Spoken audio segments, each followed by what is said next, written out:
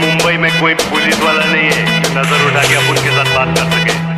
मुंबई पे राज करता हूँ राज, क्या? अरे पकड़ने की बात छोड़ आप उनको कोई टच भी नहीं कर सकता, समझी? ये देख ये देख, असली असली।